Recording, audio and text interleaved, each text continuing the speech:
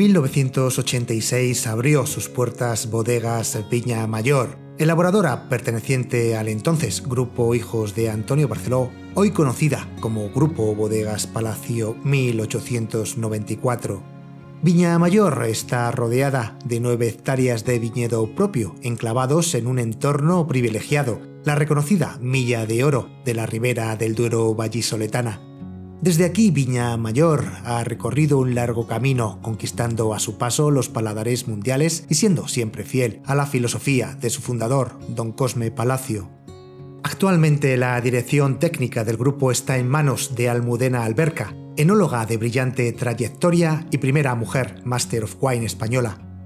Descubrir la identidad de la tempranillo ribereña pasa por desentrañar sus secretos, que les mostraremos hoy con Almudena en una cita con Rivera.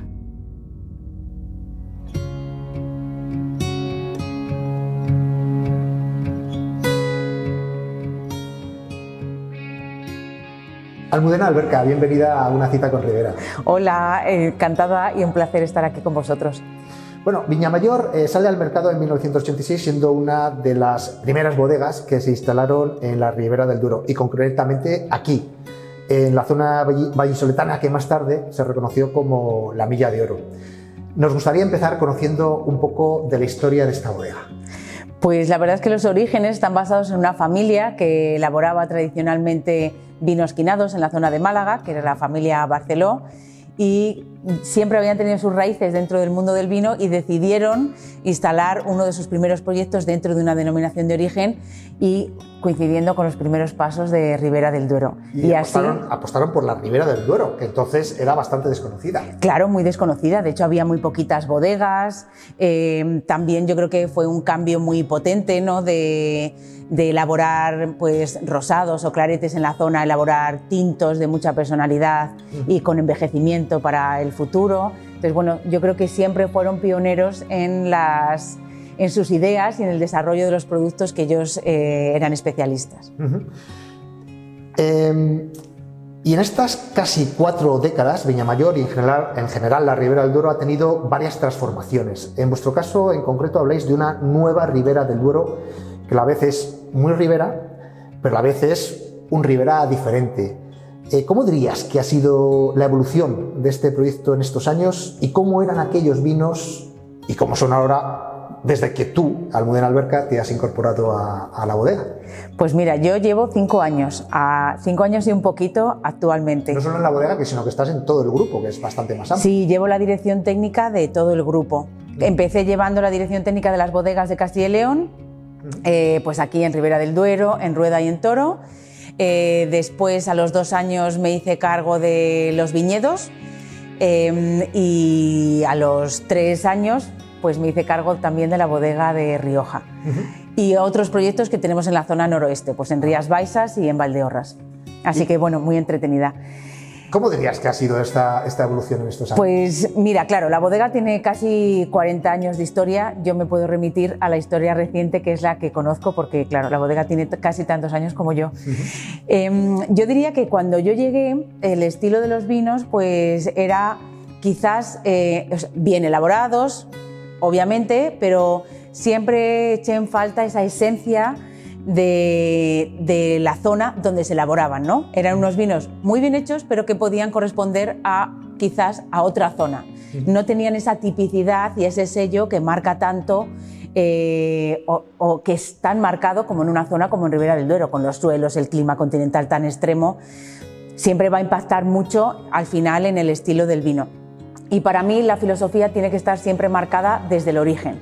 Eh, queremos hacer vinos honestos, muy directos, que representen la variedad, que, que te trasladen al lugar de origen donde se están elaborando. Uh -huh. Y así empezamos directamente, pues en me pasé todo el verano del 2015 seleccionando viñedos a lo largo y ancho de toda la Ribera del Duero y dándole un vuelco a, al sentido de elaborar dentro de esta bodega. Para eso, para que cada uno de los vinos con los estilos que hacemos represente algo, sea, que sean cada uno de ellos independientes y que estén eh, representando también la uva, o sea, vinos honestos que tienen un origen y representan un paisaje y también una manera de hacer, obviamente, que es nuestra manera de verlo. pero siempre me ha parecido muy interesante la presencia de la fruta, que sean vinos muy limpios, puros, directos, que sean a su vez también fáciles de entender. No con ello eh, perdemos complejidad ni matices. Vamos a encontrar vinos que somos a cualquier nivel de público, vamos a ser capaces de disfrutarlos y cada uno de ellos nos va a ofrecer un nivel más en función del conocimiento que tengamos. Suponemos que el cambio, el cambio climático es un factor para esa transformación en los vinos y ha motivado la adaptación de prácticas y técnicas eh, tanto en viñedo como, como en bodega. Además, Viñamayor ha sido la primera en la Ribera del Duero que ha obtenido el certificado internacional de, bodegas por la protección del clima. Eh, no solamente eso, sino que todo el grupo, podríamos decir, que ha sido el primer grupo bodeguero español que ha conseguido emisiones eh, cero en todas, sus, en todas sus bodegas.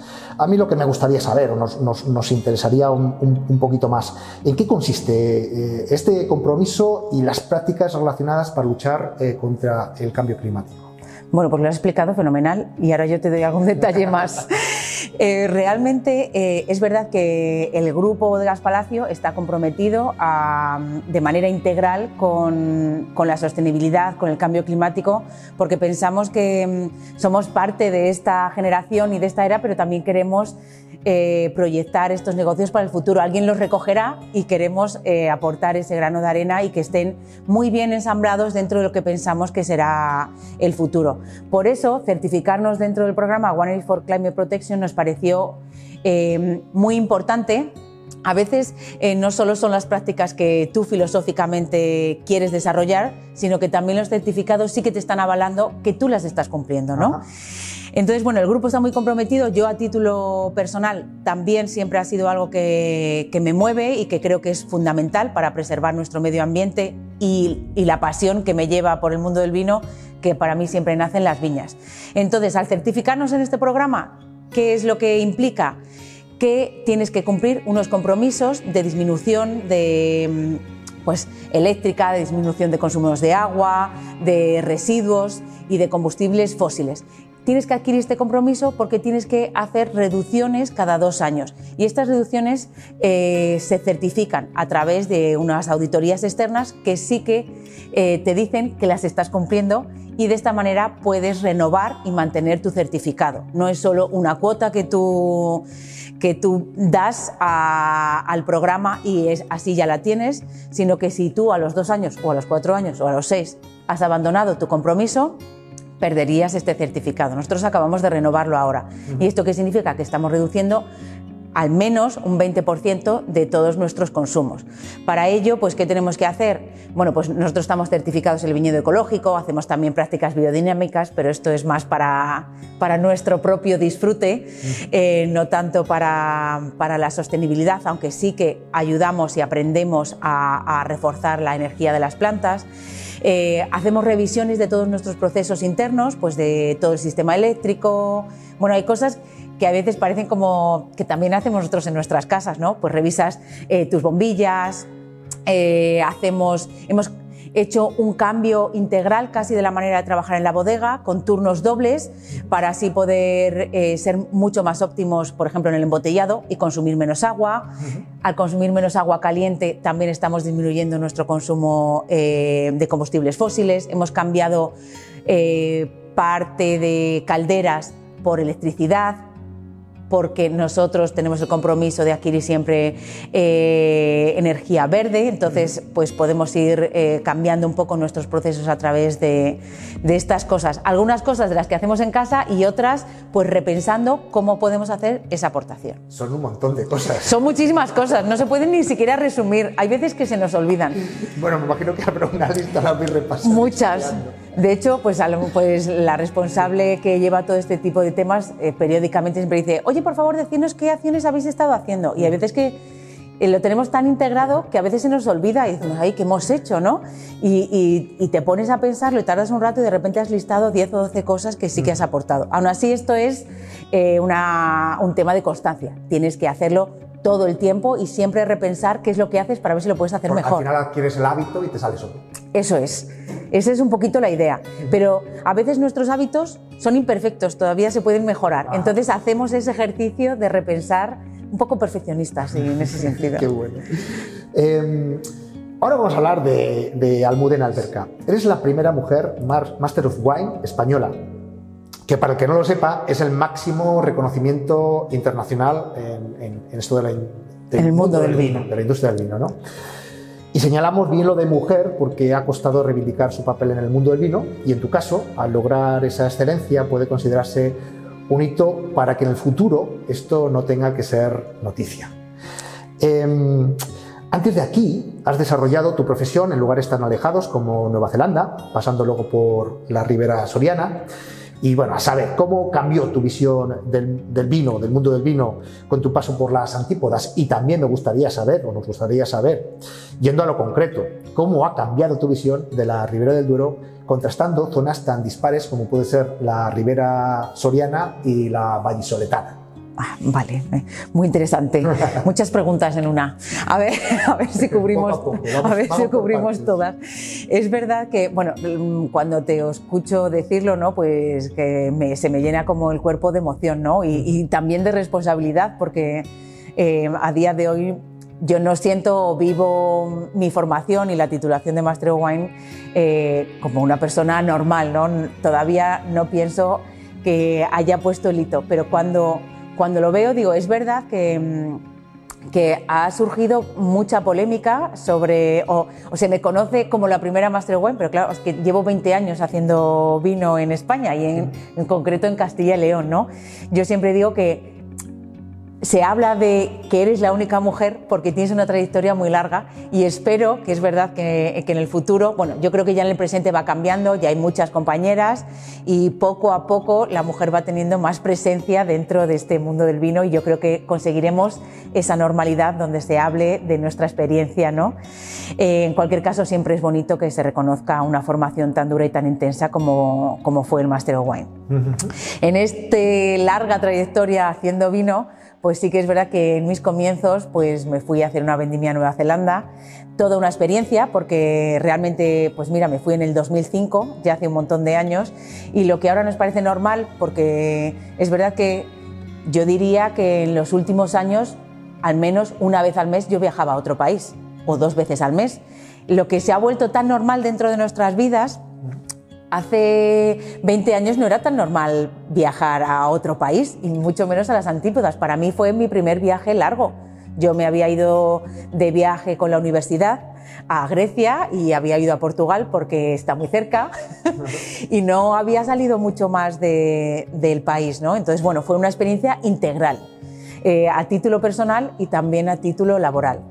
Em, me impresionó mucho ¿no? porque em, Obviamente, pues éramos un equipo de personas muy formadas, pero que íbamos allí a trabajar a todos los niveles en la bodega. Obviamente, pues íbamos a limpiar un depósito, hacer un trasiego de barricas, lo que hubiera que hacer. Yo siempre digo que éramos un equipo de eh, peones altamente cualificados. Yo nunca he trabajado en un equipo tan profesional, pero todo el equipo profesional estábamos a pie de bodega todos los días eh, y a todos los niveles. Entonces, ese nivel de complicidad, de, implicación a todos los niveles, em, casi rozando la perfección, porque, claro, el nivel de detalle que tú puedes darle a un trasiego de barricas, ¿no? cuando tú sabes todo lo que implica, es altísimo, ¿no? mientras que a lo mejor si lo estás haciendo con una persona menos formada, que no, no significa que menos formada vayas a ver menos. Yo quiero decir que hay un, hay un abanico ¿no? de, de, cosas que a lo mejor no le está dando tanta importancia como, como un enólogo. ¿no? Y ahí pues yo vi pura pasión y además éramos un equipo multidisciplinar de, muchísimos países, había africanos, australianos, eh, americanos, croatas, eh, mi compañero de trabajo era un japonés, entonces pues eh, fue una experiencia súper enriquecedora en global. Y me quedé con eso, con ese nivel de detalle, con esa implicación, con esa pasión, con esa alegría de, compartir con, muchos compañeros también y de, de que en el mundo del vino no hay secretos, lo que hay es detalle, dedicación, cercanía al trabajo que tú estás haciendo. El buscar la excelencia casi en los mínimos detalles. ¿no? Eso es, eso es. Y, yo creo que eso pues me lo he quedado y, lo he traído. ¿Y por la Ribera Soriana que también diste por ahí? Bueno, pues mira, la Ribera Soriana para mí fue una etapa maravillosa de descubrimiento de Ribera porque yo, bueno, yo venía de trabajar eh, con viñedos muy viejos, parcelas muy pequeñas eh, en la zona de Zamora, también denominaciones de origen pequeñas, bodegas muy pequeñitas con elaboraciones de muy cuidadas y vinos de alta gama. Em, entonces fue mi primera salida como enóloga a Ribera del Duero, una zona que yo siempre admiraba y que era un sitio donde yo siempre quería trabajar. Eh, soy castellana, más de la zona zamorana, y entonces era pues un sitio que me apetecía muchísimo descubrir. Así que pasé de un clima cálido, más extremo, con viñedos viejos, y me fui a las antípodas de Castilla y León, que es un clima muy frío, muy extremo. Compartíamos la parte de tener viñedos viejos y muchas parcelas pequeñitas de donde había que sacar la mejor parte de la esencia. Y fue todo un reto, eh, porque para mí fue eh, implementar, digamos de alguna manera, el 100% eh, con otra visión. ¿no? Yo venía de un clima cálido a un clima frío. Viñedos viejos, sí, en los dos, pero suelos totalmente distintos también y una expresión diferente. Entonces fue un reto, pero para mí fue un crecimiento personal altísimo, porque además pues la Ribera Soriana bueno, que yo estoy enamorada de la Ribera General, ¿eh? pero es verdad que la Ribera Soriana fueron unos años tan bonitos para mí. Eh, es verdad que fueron muy duros, ¿eh? que tuve que trabajar muchísimo. Me acuerdo la primera vendimia encima fue el 2010 que fue la típica añada donde hubo una helada de otoño y, no me dio tiempo a acabar el proceso de maduración. Era una helada de otoño de esas potentes que tenemos aquí, donde se cayó la hoja. fueron tres días consecutivos, el primer día la hoja se puso marrón, el segundo empezaron a caerse y al tercero ya no quedaba hoja. Entonces fue... Podríamos denominarla la Siberia eh, soriana. Sí, sí. Entonces, bueno, fue a todos los aspectos, en todos los sentidos, fue un reto muy alto, pero que yo viví con muchísima pasión, mucha entrega. Cuando tú te entregas tanto, también sufres mucho, porque es como un, es un proceso artístico, ¿no? Que tienes que ir desarrollando distintas etapas, pero en general tengo un recuerdo muy bonito. Aprendí muchísimo también. En la parte de la Ribera Soriana yo llevaba dos bodegas, eh, una de ellas basada solo en Soria y otra mm, eh, hacíamos vinos de las distintas zonas de Ribera del Duero, así que fue como hacer un máster eh, mm, de la zona de, la zona.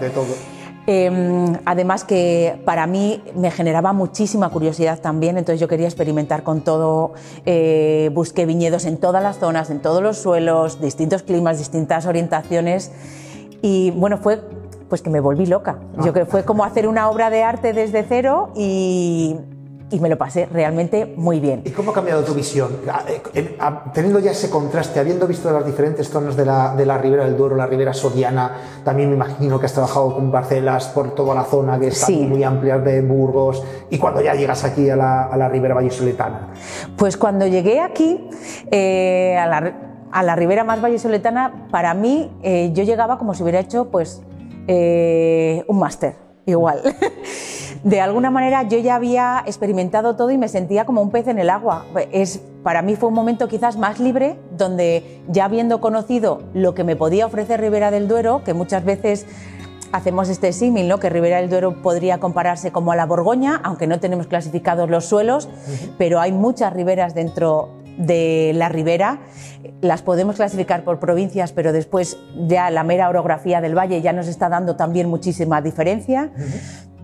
sentí que yo ya había experimentado y que de alguna manera dominaba lo que yo quería, ¿no? dominaba la zona y fue un momento de libertad a la hora de crear un vino y de, y de... Además aquí me dieron esa oportunidad y era lo que se necesitaba en este proyecto, que era relanzar todos los vinos, repensarlos. Entonces, una vez que yo ya tenía ese conocimiento, empecé a buscar, pues yo como quiero que sea el roble, ¿no? Pues yo quiero que el roble tenga mucha fruta, que sea fresco, que tenga buena acidez, pues voy a buscar unas viñas aquí en esta zona, voy a traer una de Soria, voy a coger una de Burgos y voy a ponerle más de Valladolid, por ejemplo, ¿no? De alguna manera era eh, como ir al supermercado, yo ya sabía qué ingredientes quería coger. Y entonces iba a buscarlos a cada una de las zonas donde los quería encontrar. En resumen, podríamos decir que adquiriste una visión mucho más amplia de lo que era Ribera del Duero. Eh, adquiriste esa visión de lo diversa que podemos reconocer la Ribera del Duero. Y pues ahora se me ocurre una pregunta, ¿qué le dirías o qué les dirías a aquellos que hablan de la Ribera del Duero como esos vinos monolíticos homogenizados por su paso por madera? Ay, qué, qué pregunta. Mira, como te he dicho, para mí la Ribera del Duero es eh, una zona relativamente pequeña, bastante pequeña, si la comparamos pues es un cuarto de Rioja y una ínfima parte si la comparásemos con Burdeos, ¿no? Por ejemplo.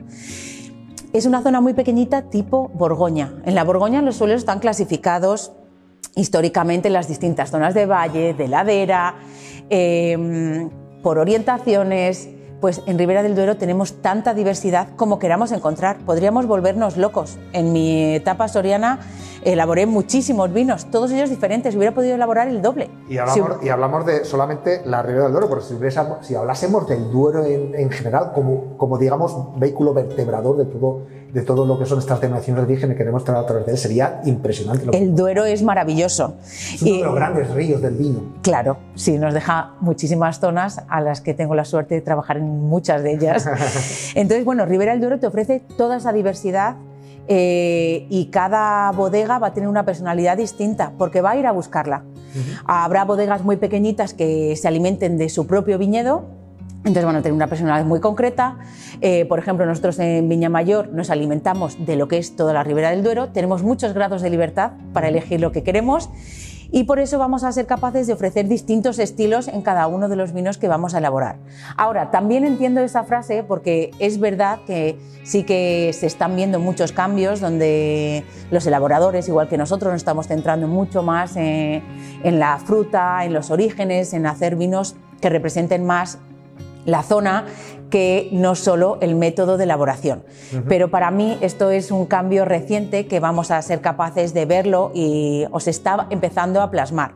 Para mí estos cambios son más de hace quizás cinco o seis años. Es cierto que todavía sigue habiendo un estilo reconocido dentro de Rivera donde eh, se busca mucho la concentración, la madurez y, su público, y se marca mucho el estilo de elaboración con unas crianzas largas, con mucha madera nueva. Es una parte de la tipicidad de la zona, también es verdad. Yo creo que probablemente los mercados internacionales buscan más esa esencia y más eh, la fruta más pura. Eso no significa que sea negativo el envejecimiento en barrica. Tempranillo, nuestra, la variedad que representa Ribera del Duero, es una variedad que tiene mucha afinidad por la madera. Esa afinidad la decimos en positivo. La variedad se hace mejor a través del paso de madera, la variedad se hace mejor con el paso del tiempo. Es un conjunto bonito que yo creo que hay que buscar ese equilibrio en el que nos permita seguir expresando nuestro terroir. Bueno, pues hablemos ahora de los vinos de, Viña Mayor. Eh, comenta, bueno, hablábamos antes de que se definen como la nueva Ribera del Duero. ¿Cuál de todos los que tenemos por aquí serían los muy riberas ¿cuáles serían los muy distintos? bueno, siempre hay que hacer una clasificación, ¿no? Yo diría que todos son muy Ribera y todos son muy distintos actualmente, porque lo que estamos buscando es eso, vinos honestos que representen nuestra zona de origen. Ahora eso sí, cada uno de ellos lo representa de una manera distinta.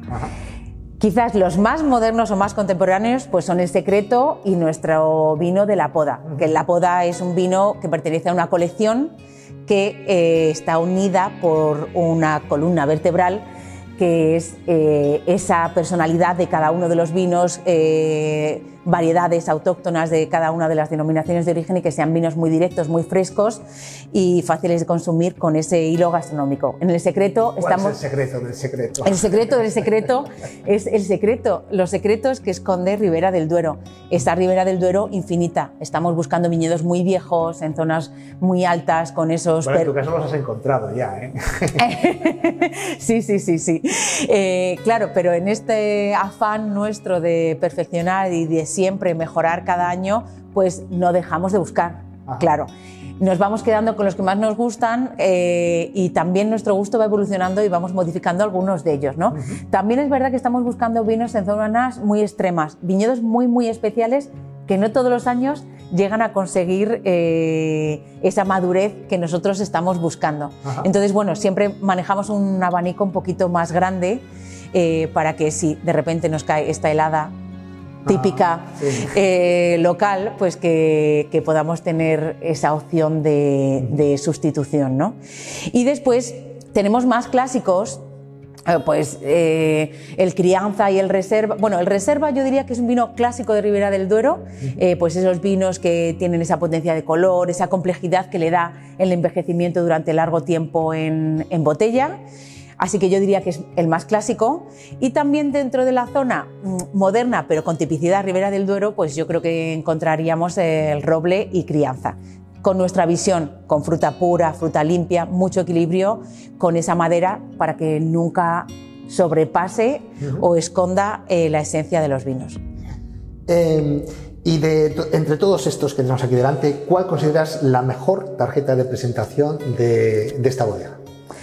Mm, pues que claro, es muy difícil. Háblame de tus hijos. ya, hombre, yo creo que lo que representa más nuestra etapa presente y el futuro es el secreto.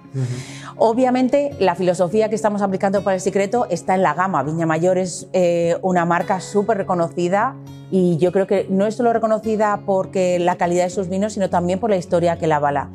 Hemos eh, implementado la calidad en cada uno de ellos y lo hemos ajustado dentro del estilo y yo creo, pues eso, lo que os digo, el Viña Mayor Crianza y el Viña Mayor Reserva están representando también muy bien a la bodega cada uno dentro de su estilo. Es que el trabajo que hemos, o sea, mi trabajo fundamental durante todo este tiempo ha sido que cada uno de estos vinos, dentro de su estilo, represente a Ribera del Duero y represente nuestra filosofía en la bodega. Todo eso se reúne en el secreto. Muy bien, pues vamos a dejar el secreto como el vino más representativo y que animamos a todos a disfrutar. Ay, sí, por favor.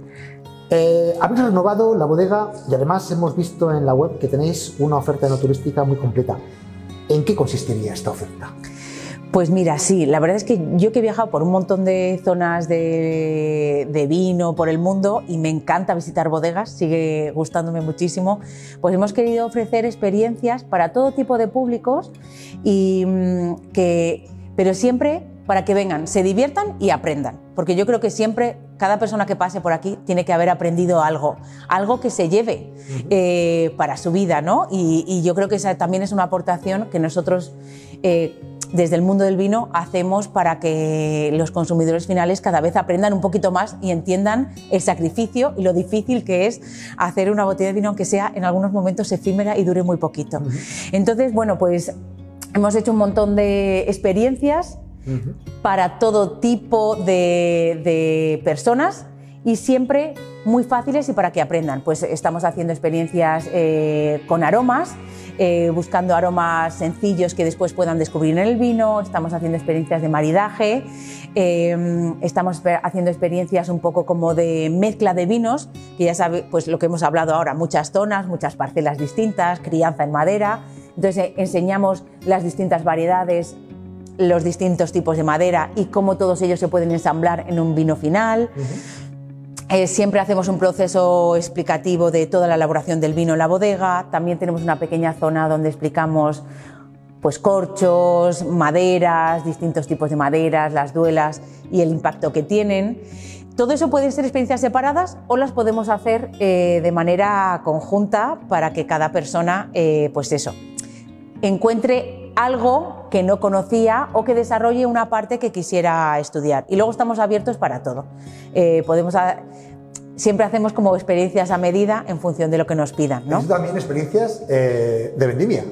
También, bueno, la experiencia de vendimia es fantástica, porque tenemos todo el viñedo alrededor de la bodega, mm, hacemos, y además me parece muy bonita esa experiencia porque no solo lo puedes hacer los adultos o los niños, sino que se puede compartir en familia, que creo que es muy importante también. Y en grupos de amigos, pues salimos al viñedo a vendimiar, después tenemos una pequeña prensa de usillo a típica, ¿no? Eh, colocamos un contenedor donde la gente puede tener la experiencia de pisar las uvas eh, con los pies, sacamos mosto, lo tomamos, de alguna manera hacemos todo el proceso completo. hacemos una pequeña vendimia. Eh, para cada uno de los visitantes que vienen y los niños se lo pasan fenomenal como locos y los padres pues pueden acompañarlo. Después hacemos una catalla de vino para los adultos y, qué y rico hacemos sale- qué rico sabe el vino y el almuerzo después de vendimiar. bueno, absolutamente delicioso, realmente sí. Después preparamos un almuerzo muy rico. Realmente tenemos aquí a la, eh, la gente es que no se quiere marchar. Est- Están aquí tres, cuatro horas y quieren quedar, lo disfrutan muchísimo. Y luego durante la época de vendimia hay una luz preciosa, el campo en Ribera del Duero es fantástico, tenemos unas vistas muy bonitas y es una zona muy tranquila. Eh, así que bueno, pues yo diría que de las personas que han venido siempre se van con un buen sabor de boca a mosto. Bueno, pues Y repiten. Animamos a toda la gente que, que se quiera venir a la Ribera del Duero a que contrate una de, de esas experiencias en la web y que las pueda disfrutar con vosotros. Bueno, ya para finalizar, nos gusta siempre, eh, al final, preguntar por el futuro. ¿Cuáles son los próximos proyectos de Almudena Alberca en Viñamayor? Si se pueden contar, claro. Bueno, sí, siempre, siempre hay cosas porque soy una persona muy inquieta que me gusta seguir explorando. Y bueno, pues tenemos ahora mm, la familia del secreto va a crecer, Ajá. va a crecer un poco con esta diver- en, en funda- o sea, basada en los pilares que hemos estado hablando de la gran diversidad que nos ofrece Ribera del Duero.